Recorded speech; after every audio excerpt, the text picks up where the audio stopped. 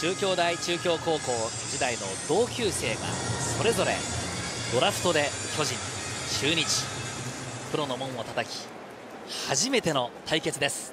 もう少し眼光鋭く両者が睨み合いましたがちょっと顔を見て伊藤さんとうなずいたでしょうもしか。したら連絡取り合ったかもしれないですし、ね。はい、またストレートで来た。どうだ？ピッチャー取りましたピッチャーゴロ。センターの前には抜けさせないというその高橋宏斗の気迫も感じましたがジャンプ1番。いやセンター返し。こう投げも投げたり打ちも打ったりという見事な対決でしたね、はい、取れないとセンター。まあ普通に練習に行って普通に電車で家に帰るという日常が奪われた高校生だったわけですからね、はい、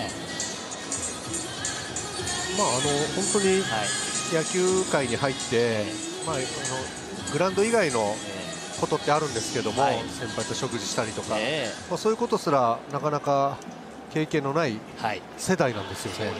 はい、足速い増田ですから、えー、本当一塁三塁でも作ってくれると、これもうここですね。もうこれこう100点満点のライン。ライト前ヒット。中山が高橋からヒットを放ちました。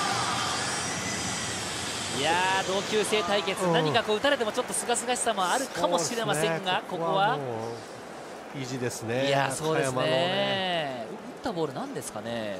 これ多分スプリットじゃスプリットですかね。少しこう変化してますよね。えー、ストレートがシュート回転した可能性もありますね。